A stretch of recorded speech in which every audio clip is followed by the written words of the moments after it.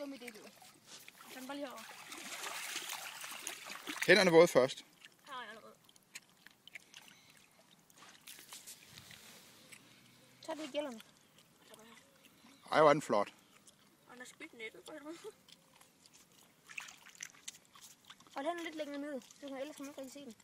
Op, hvis, hvis, Prøv, prøv at rette den lidt op. Ja, ret fisken lidt op. Sådan der. Flot. Skal vi også tage, nu tager vi et, et rigtigt billede af den også. Det var video.